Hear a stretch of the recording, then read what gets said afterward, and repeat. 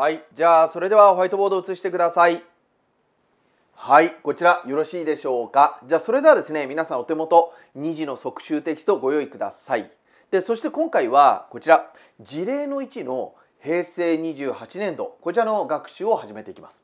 でお手元のちょうどテキスト見ていただきますと具体抽象のプロセス演習とありますのでこちらの問題編とあとはちょっと後ろに行きましてちょっと後ろに行きまして回答編で回答編を中心に学習を進めていきますのでまず問題編とともに回答編がすぐに開けるようにご準備いただきたいと。でそしてこれ回答欄ありますよね今回。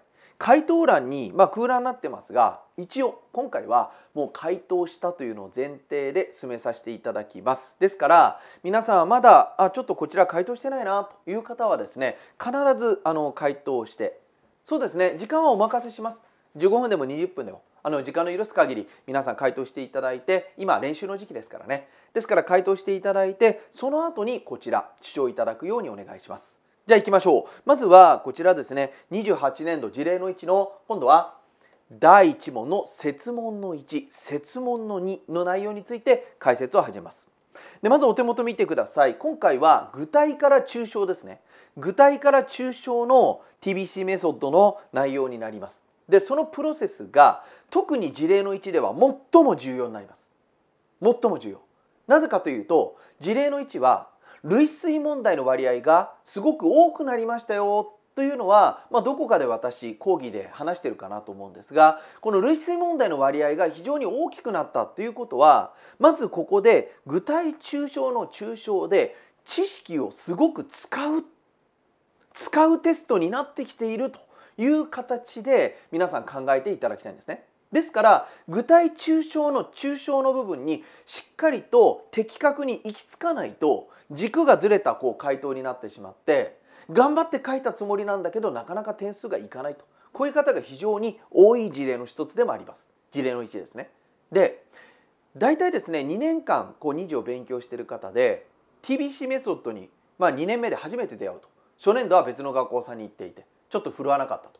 で2年目に TBC メソッドに初めて出会ってそして1年こう勉強していく中で一番伸びる科目は何かというと1と3ですね。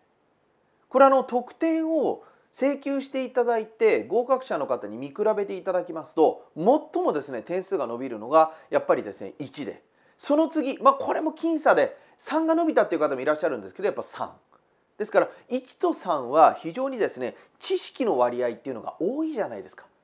事例の2はどちらかというと記述力とか具体的なこう発想力みたいなところが問われる部分もあるんでちょっとしんどい部分がありますね。これはどういう考え方でもなかなか解きにくいところがあります。例えばお店を好きで見ていないとなかなか点数が取れないなんてことが非常に多い事例がやっぱり事例の2なんで日々まあ常日頃からのですねこのマーケティング的なセンスとか感覚ここ問われてきます。ただ1にとっては1についてはもちろん皆さんマネージャーの経験がある方もいらっしゃると思うんですけど一旦そこは捨ててくださいなぜかと言いますと点数が伸びている方の多くの方は見てますと企業でマネージャー経験がない方の方が多いんですよ。これ多いです。例えば私がまあ過去に受講生でまああの実際に教えた方の中でまあ合格しましたと言ってきた中で一番組織の多分事例の1の点数を取って取ったという方取っただろうという方ですね。まあその方は要は TBC の模試だけじゃなくて他の学校の模試でも1番取ってんですよ。で例えば大手の学校さんもう一つの学校さんで TBC の学校3校で1番とこれすごいですよね。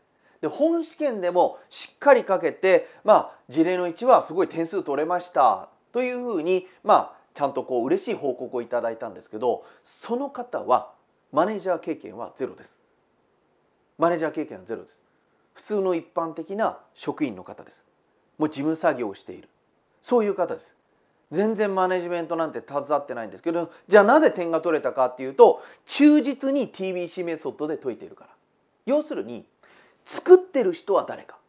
作ってる人は誰かというと実務のプロでもコンサルのプロでもない理論のプロである試験員の大学の先生なわけですね。試験員の大学の先生は理論のプロです。コンサルのプロじゃないわけですよ。ここポイントですよ。だから事例の1の会社も取材には行ってないです。これ言い切ります。行ってません。だって社長が取材私がして来てないって言ってますから。ですから皆さんはしっかりとこの、まあ、ロジカルにというか具体抽象のプロセスで解いていただければむしろ点が取りやすい、まあ、単純に考えてください。もう点を取るゲームです。事例の1は特に点取りどころですからね。ここでどんどんどんどん、まあ、選手点を取っていただいてあと逃げ切っていただきたいなというのが私の本当に、まあ、TBC 受験研究会で、まあ、書籍も含めて勉強する方へのお願いです。はい、じゃあ行きましょう。ちょっと前置き長くなりましたがまず1つ目。全体的に見てまあ、組織人事の場合は戦略なのか組織なのかあとは人事なのかその他なのかと大枠をまず分けますよね。で大枠を分けてじゃあ人事だったら人事の知識を皆さん頭の中にある知識を検索エンジン働かしてピックアップしていただければ、まあ、早く回答を解けますよなんてことを授業でよく申し上げてます。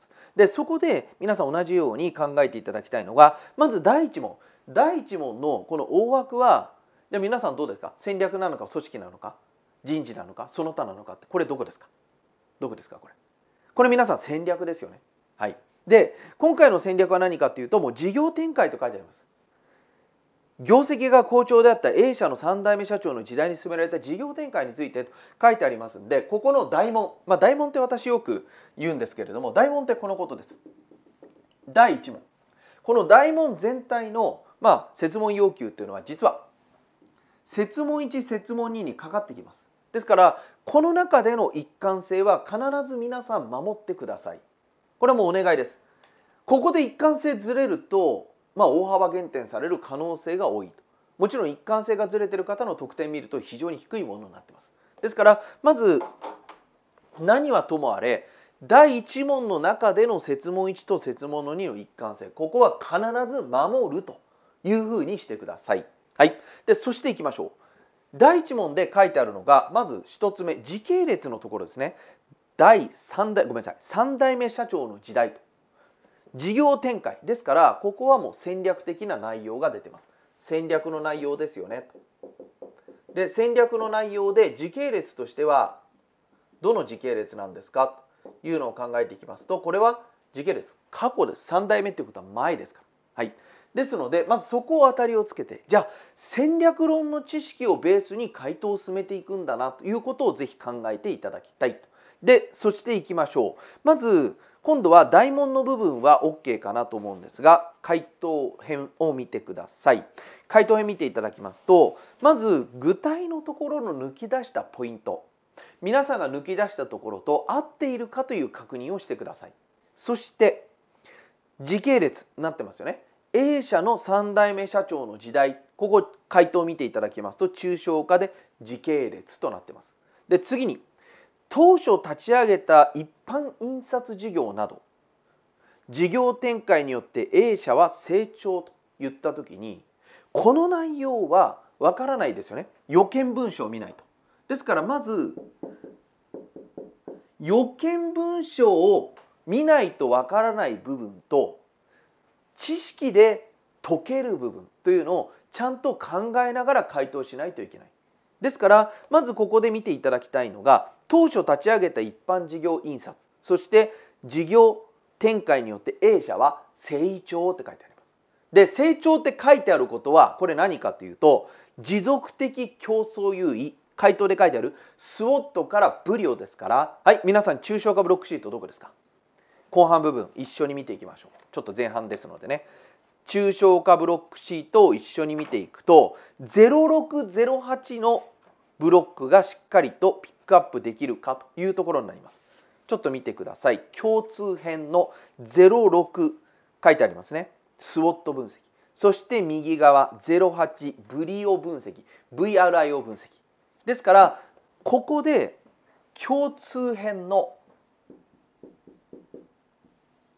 06から08思い出していただいてそこで持続的競争優位というのを考えないとまずここの答案で得点を取るのが難しいですよというところにつながっています。ここよろしいでしょうかね？でそしてじゃあそこは予見文章のどこにあるのかな？予見のどこにあるのかなっていうのはちゃんと時系列というのを加味して加味して回答を進めてくださいねと。時系列というのをちゃんと加味して予見文章の分析をする。だからこの問題を解くときに5代目の社長のところをあんまり見すぎると時間的にロスになりますんで3代目の社長のところに集中して、まあ、視線を配ってですね回答を進めていただきたい。読み込んでいただいて。はい。じゃあそこがですねまず第1段階のステップになります。スウォットからブリオ。そしてもう一つ見ていただきたいのは何かっていうと今回ポイントとなるのがもちろん組織の内容も絡んできますね。組織の内容も絡んでくるんで組織編の23のブロックシートを見てください。23回答をまとめる時まとめる時に何が必要になってくるんですか？っていうと大体戦略で、まあ、これ組織編に書いてありますけど戦略にもリンクするんですが組織の中でやっぱりですね事例の1の中で出てくる中で先発優位性っていうのはですね試験の先生好きなんですよ。繰り返し出てきます。そのようなフレーズとかニュアンスっていうのが。ですからまずは組織編の回答を書くときには23ですから予見分析をしながらまあ、これはちょっと予見分析になっちゃうんで予見分析になっちゃうんですけれども組織編の23のブロックシート、ね、そこで先発優位っていうところも考えながら読み込んでいくっていうのがポイントになります。で、まあ、それはですね予見読みながら先発優位だなというふうに考えていただければいいんでこの状態ではわからないです。一応補足として補足ですこちらは。でまずは段取りとしてはどうするのかっていうと06と08で予見を分析しましょうそして今回のこちらの問題は戦略の問題だから戦略っていうところから逸脱しないように考えていかなければいけないと。はい、ぜひそこをしっかりとインプットしておいてください。でそしてその要因ですから因果関係をしっかり捉えていただきたい。要因っていうことは持続的競争優位を考えるときに08番のブリオ分析の中で言いますとどの辺になりますか？要因っていうことは？VRIO の中では？どちらかというとこの辺になりますね。もちろん R も少し絡みますがバリューのところじゃないっていうのは皆さん OK ですよね。はい。ですからそこはですねしっかりとこの I と O が中心になりますと。そこしっかり押さえていただきましてじゃあいきましょう。そして今度は設問の2番。次のところに進んでいきます。で設問の2番は見ていただきますとこちら。戦略ですよね。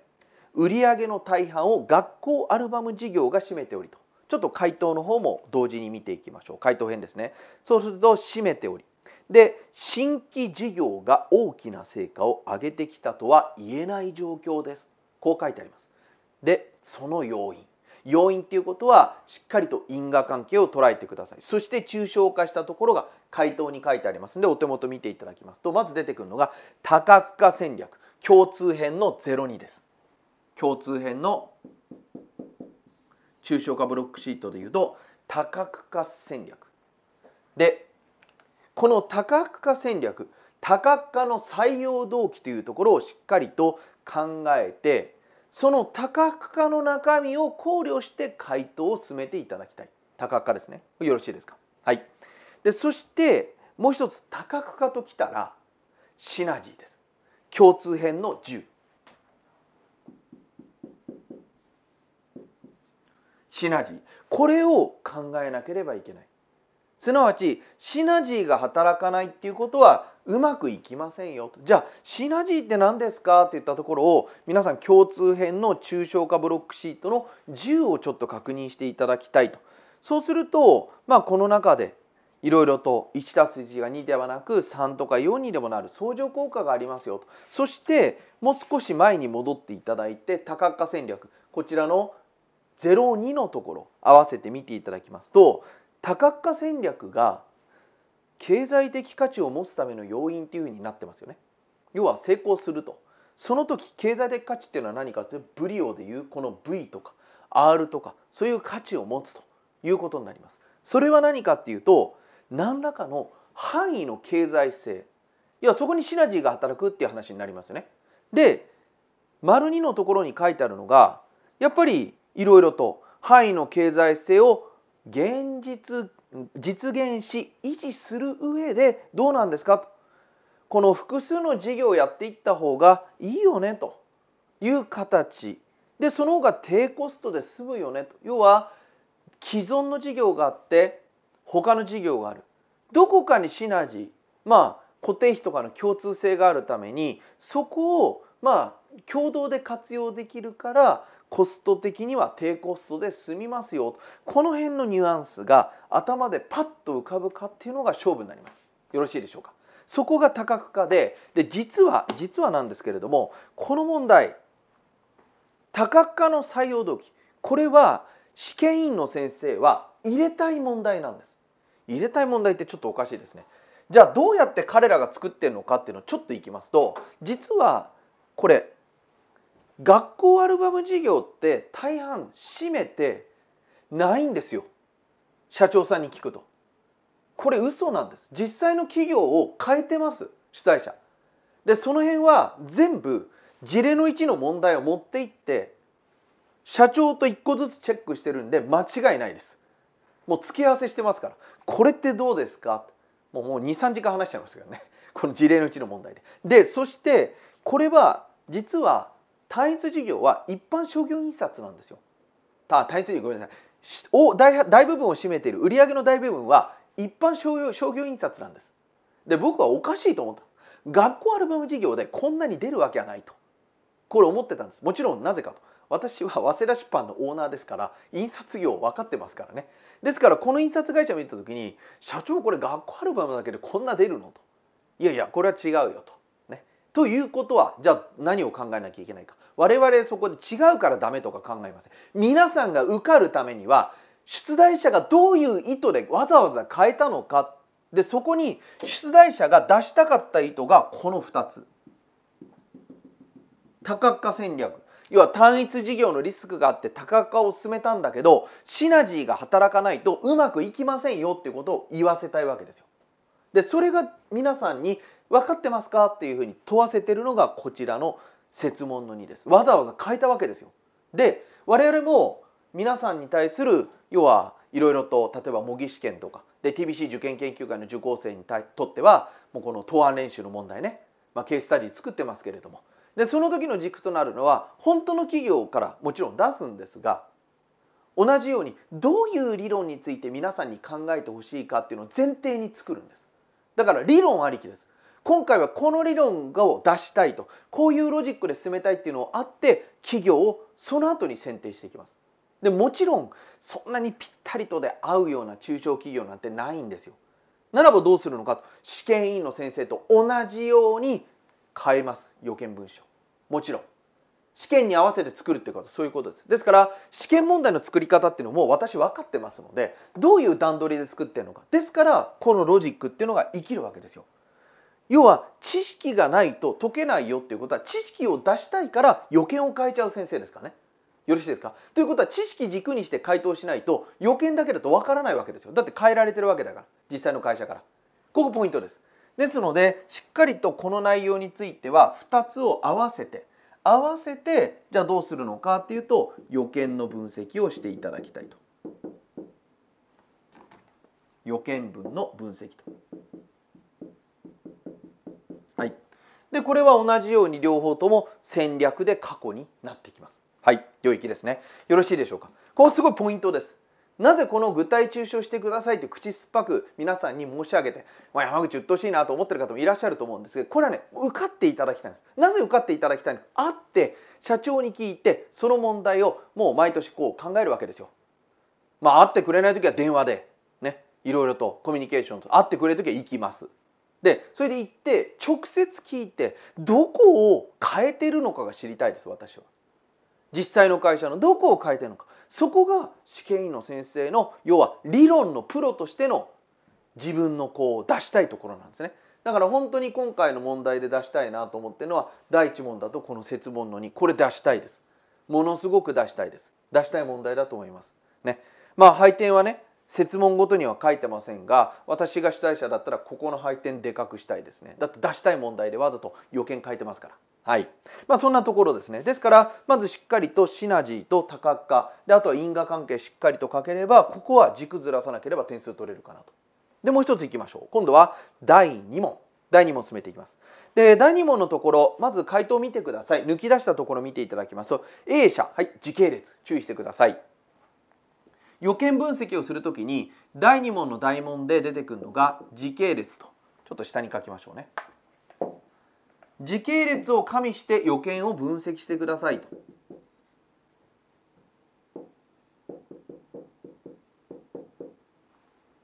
でこの設問の1こちらですね。A 社長のまあごめんなさい。A 社の現社長。まあ私のあった社長です。5代目です。の経営改革。新規のアルバム事業を拡大して点に留意すべき点。でそして学校アルバム事業の展開との違いを考慮。こう書いてあります。でここで出てくるのは時系列。まず初めに出てきます。ですから時系列を考慮して予見を分析しなければいけないと。ただその時の軸としてじゃあまずいきましょう。まずここで出てくるのがドメインです。で今回こちらの問題が一番難しいです。一番難しい。ここの問題。でこの問題は何かっていうと設問の1は将来の戦略の問題になります。将来の戦略ですね。将来系の問題で戦略の内容になってくるかなと。将来の戦略。で将来の戦略っていうことはまあいろんな回答が出て難しいというふうに考えてください。将来の戦略系ですね。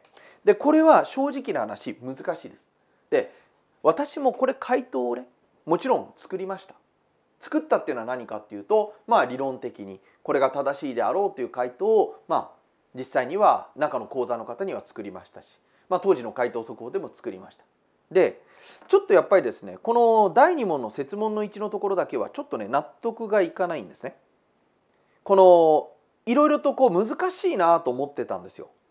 なぜ難しいのかっていうと新規のアルバム事業ってそもそもうまくいくのかなというふうに思ってたんです。でまあこれは実際に会って社長さんに聞いたらまあ基本的にはこれはうまくいくわけがないと。でこれはやってないと。だからこれ丸々丸々これは実際には試験員の先生の考えた問題になってきます。部分っていうかね予見も。ですからこれは実際の5代目社長はここではやっておりません。やっておりません。一部やっているんですけど軸としてはほとんどやっていないといったところになってます。はい。まあ、この辺ちょっとなぜっていうのを話すとものすごく長くなっちゃうんでここではちょっと割愛したいんですけれどもだからやっぱ難しいんです。でだいぶ分かってきたのが何かっていうと出題者の方がこう予見にはない。その企業にそもそもないものを無理くり入れてくる問題っていうのが出てくるんですよ。理論入れたいから。そこはね結構解き手の立場。皆さんも解くじゃないですか。私も解きますよ。過去も。解き手の立場から見るとうんっていう問題が結構あるんですね。二次試験って。でもそれねもうしょうがないです。で私はそういったまあいろんな受験校さんでもここはこれないですよねっていううんっていう問題でも点数取ってもらいたいです。そこで私は逃げないです。必ず点数取っていただきたいんでじゃあどうするのか理論のプロが入れていくからこの分かりにくい問題を解く時にも理論で対応していけば点数取れます。もうそのロジックです。だから TBC 受験研究会で80点とか85点とか取ってる方が多いっていうのはここなんですよ。もうできるできない。実際には無理。関係ないです。僕にはこの会社がどうなろうと関係ない。皆さんの点数がどうなるのが重要です。ですから取材に行ってやっぱり社長やらないですよねって僕も思ってました。ああ安心と。ですからそこで終わらないで出題者の試験員の先生はなぜここを入れたのかなんですよ。この中で正解が取れればいいのでそこで理論的にわからない問題が出た時にはドメイン。特に A というビジネスと B というビジネス違いは何とか。B という新規をやるときにどういうふうな、まあ、不具合が起きるかとか、まあ、今回みたいなそうですね。新規アルバムのアルバム事業を拡大していく。要するに A という既存があって B という新規があってそれを拡大していくべき点に留意するべき点ということは何かあるわけなんですよ。何かある。そしてあえて学校アルバム事業との違い A という事業との違いですよ。既存の。これについて助言をしてください。っていうことは将来でかつ戦略なんだけどそういった時にはまず皆さんがいの一番に思い出していただきたいのがドメイン。C. F. まあ CFT でもいいですこのドメイン共通編のブロックシートの09になります。09で将来の問題は時系列だけど予見はなかなか使えるものがないです。ですからまずドメインというのをちょっと考えていただいてじゃあそのドメインの中でどこを重視するのかって言いますとここは C と R です。もちろんもちろん F のファンクションも重要なんですがマーケティング流通に関する事例事例の2と比べて事例の1の方が階層的には上なんですよ。トップマネジメントに近いところのイメージで出してます。こう過去の傾向を見てもお分かりの方は。ですからファンクションで具体的に何を提供するのかっていうのを多く問うよりは今の標的顧客に現在のリソースで対応できるのかっていう資源配分とか育成っていったところが中心になってくるんです。これが組織人事です。ですからそれは何かっていうとじゃあ C 標的顧客はドメインの中の09であともう一つリソース。ここで対応できるかと。この対応関係。ですからリソースのところのブロックシートは共通編のこちら出てくるのが07で特に人物金情報設備というふうに考えた時に人物金情報設備っていうふうにかあごめんなさい。え情報ノウハウですね。人物金情報ノウハウって考えた時にちょうど皆さんお手元の、えっと、抽象化ブロックシート共通編の07見ていただきますとまあ一時で私講義する時には人ね物人物金情報ノウハウって言ってるんですが事例の1の場合に回答する時には人物設備って考えてください。設備資源っていうのが物のところにくっつけていただきたいと。設備資源皆さん忘れないでください。で金と情報ノウハウと、ね、情報ノウハウっていう形でちょっとこの人物金情報を広げていただきたいんですね。でそれはなぜかっていうとこちらのバニーさんのところを参考に挙げさせていただいている抽象化ブロックシート07なんですが07のブロックシートを見ていただきますとここで出てくるのが組織資源とか人的資源とかあとは財務資源の中にやっぱこう資産っていうのもあるんですけど次の物的資源物ですね。物の中見ていただきたいんですけどここに出てくるのが工場とか設備って出てくるんですよ。商品だけじゃなくてやっぱり工場設備っていう具体例これがバーニーさん流でこの辺の流れっていうのをすごく試験員の先生は重視してるかなと思いますのでいろんな経営資源リソースに書いてある本の中で今回はこちら抽象化ブロックシートに載ってる知識はバーニーさん選んでます。なぜかというと設備資源今回の事例の中でも設備あります。ねちゃんと書いてありますね。研修施設。本当はないんですよ。本当はないんです。ないのにあるっていうことは重視してることじゃないですか。皆さんが出すなら。そこなんです。ですから今回はこの07のところ。はい。ちゃんとリソース09ここでちゃんと対応できるのか。ダメならばこのリソースをどういうふうに良くしていけばいいのか。というようなところをぜひねあの考えられるように今後の問題に対してしていただきたいと。よろしいでしょうか？C と R との対応関係ここが重要になってきます。はい。まあ、それがですね時系列のところで特にま難しいと思った問題。多分受験校でここ揺れがあります。なぜあるのかっていうともともとの企業にはないところだから。このポイントね。でもこの対応関係でいけば取れます皆さん。確実に取れます。ドメインというふうに考えてください。違うビジネスを行うって考えたらまず何が違うのかと戦略が違いますよね。戦略っていうのは何で変わるのかっていうと標的顧客と顧客機能とあとはリソースのドメインで変わるわけじゃないですか。ここが決まってれば方向性一緒でしょ。で一次試験も見ていただくと企業ドメインと事業ドメインってむちゃくちゃ出るじゃないですか。試験で。過去分析してる方。ですからやっぱり出題者の方っていうのはここを重視してるなっていうのが一時から見ても見て取れます。はい、よろしいですかね。ですからドメインここの部分。じゃあ続いて設問の2いきましょう。設問の2で皆さんがピックアップしてあの参考にしていただいたまずはあの設問要求は？もうここはいけますよね学校アルバム事業中核にするは機能別組織体制ですからもう抽象化ブロックシートの組織編68ですよここでここ複数の事業間で全社的に人材の流動性を確保するように。これはマトリックス組織です。これももうズバリ生かしていただきます。マトリックス組織。なぜかというと社長さんマトリックス組織でちゃんと出したと。補助金の申請と。あそうかと。やっぱそれ見てるんです。出題者見て作ってるからここマトリックス組織。なので多分ここもですねもし私が出題者だったら配点を半分にするんじゃなくてここ点数与えたいですね。こことここは点数高めにしたいです。思い入れが強いからここ。はい。なのでまあぜひぜひしっかりとまずは共通編よろしいですか？共通編はドメインだからそこに関連してきてでもう一つごめんなさい組織人事編ですね。組織人事編の06と08これをしっかりと皆さん使えるようにしていただきたいと。でそしていいんですよ。こういった問題の時のポイントはここのデメリットを生じさせないというふうに書くのかあとは書き方こっちでも結構ですよ。こっちのメリット。メリットがあるというふうに書くのか。ここ自由です。デメリットが生じないっていうこととメリットがあるっていうことは表裏一体で非常に近しい関係になりますんでここは全然構わないかなと。ですから片方しか思い出せなかったうわマトリックス組織忘れちゃったなっていう方は機能別を覚えてないとさすがに2次受けるっていうのは難しいところになりますんで機能別のデメリットが生じないっていったところをうまく書いていただければ取れます。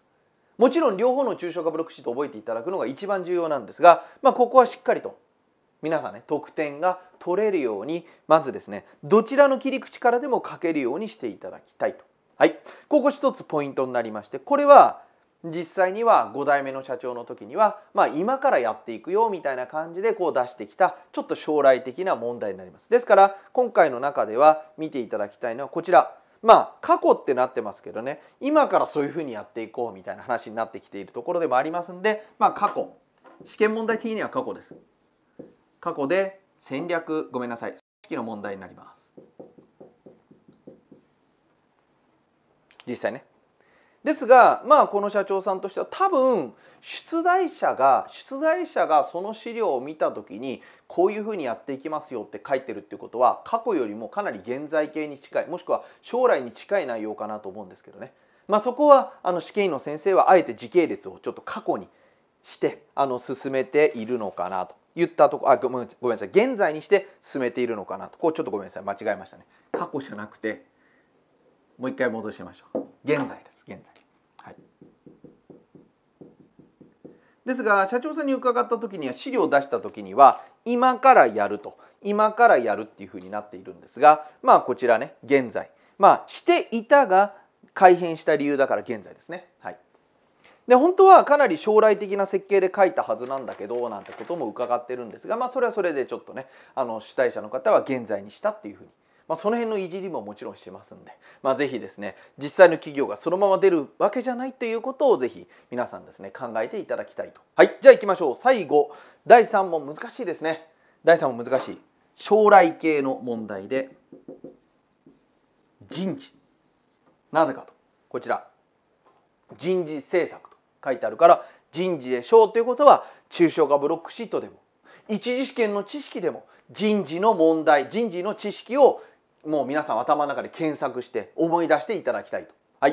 じゃあ行きましょう。まず人事のところになってくるんですが、業績低迷が続く A 社が有能な人材確保。そしてどういった人材施策を導入することが有効なんですか？という問題なんですがまずは人事システムの組織編の35これを見ていただきたい組織編の35ここものすごく重要です。でまずはここで出てくるのは人事システムっていうのは回答にも書いてあるように採用評価報酬とこういう体系になってます。で採用評価報酬ちょうどですねこちら後ろの方見ていきましょうか35のところですね見てください。そうすると今回採用するもちろん評価報酬まあ、ちょっと能力開発も入れてもいいんですけど、まあ、この辺を軸にして考えていきますとまずは今中小5ブロックチート35見てますよ組織編。そうするとまず採用とか報酬って結構でかいですよね。皆さんが会社を選ぶ時ってお金の面っていうのは出てきますから。でここはズバリいきましょう。成果主義で正しいです。正しいです。なぜかと聞きました社長さんに。こういう成果主義を導入していこうというふうに実際に決めて、まあ、補助金の中にも書いたと。いうふうに書いてあり言ってありますのでここはもう成果主義でやっぱ正しいかなと、まあ、TBC この回答で言ってますかね。はい。ですのでまずは人事システム採用評価報酬の中この切り口が出れば採用に関してのところと例えば評価のとあとは例えば報酬この辺でうまく書けないかなというこの組織研35を軸にして将来の問題を書いていくと。なぜならば将来の問題は予見文章になかなか載ってないわけですヒントが。はい、でいきましょう。そして人事システム設計の上で前提とすべき事項ちゃんと考えていかなきゃいけない。戦略財務外部労働市場あとは内部労働市場。ここがパッと思いつくかです。思いつくかですよ。ここ思いつかないときつい。じゃあまず考えていただきたいのは外部の労働市場行くと外部の労働市場ね。外部っていうことは企業の外部。まず採用難しいわけです。これ要件見ると分かるように。ね。地方で業績も悪化している。財務見てると。そうですよね。でするとまず出てくるのが若手人材の確保。これをしたい。ですがまあ難しいわけですよ。実際に社長さんにどうですか？いや大学卒は一人も取れませんでした。と高卒がなんとか一人と。え就職フェアとか出してんじゃないですか？募集が殺到して漏れちゃいました。こんな感じですよ。そういう感じ。だから就職フェアに出せば人が集まる。その回答じゃ現実は×です。出せない。じゃあどうしたらいいんですかと。採用する時に。その時に出てくるのがインターンシップです。インターンシップ。で今回の中では資源ありますよね。研修施設と。いったところもしっかりありますんでそういう設備っていうのはやっぱ使っていかなきゃいけないかなと。で今回見ていただきたいのは白書編をちょっと見てください。この手の私は未来に対する問題の時に実はですねもう先手を打って入れてありますこれは。今入れたわけじゃないです。過去のこの2次の即習テキストから入ってます。技術技能承継の取り組みで出てくるのが若手人材の確保インターンシップと。中小企業白書の知識は全部読んでるととんでもないことになりますが私はまとめてます。もちろん TBC 受験研究会の講座の中でも出してます演習問題で。新しいのねじゃあなぜそういうふうにやっていくのかっていうといやこの手の将来系の問題の時にリスクの低い高得点の取れる答案を書いていただきたいからですね。罰ついちゃいけない。じゃあ出題者が×つけられない答案っていうのは何を軸に書いた答案かっていうと理論とあとは白書ですよ。これ重要になってきます。ですから今回はまず一つ出てくるのが白書編の01ここに実はアイディアが隠れていますよというところになります。これよろしいでしょうかね。白書編の01はい。であとは組織編の32と33この辺ですね。組織編のちょっと青になっちゃいますけどね。32と。33を見てください。この辺もやっぱりピックアップしたいところですね。はい。じゃあ組織編の32と33ちょっと見ていきましょう。そうすると何が書いてあるかと言いますとよしと。これですね。新卒のメリットデメリットと中途のメリットデメリットっていうところが書いてあります。ですからまずは新卒と中途これ両方取らなきゃいけないですね。これ取らなきゃいけないです。ですからそこもちゃんと使わなくてもブロックシートを上げていくっていうことも必要になります。ですからブロックシートは全部が必要なわけじゃなくてとりあえず上げるだけ上げてください。必要だなと思うのが。で代替案は戦略決定するときに多い方がいいわけですよね。ロジカルシンキングでも多い方がいいわけですね。要は W はある程度あったっていいんですよ。後で消去すれば。抜け漏れがまずいですね。一番この手の問題の時には。論理的に考える時。ですから抜け漏れを防ぐためにはあなんか採用っつったら新卒。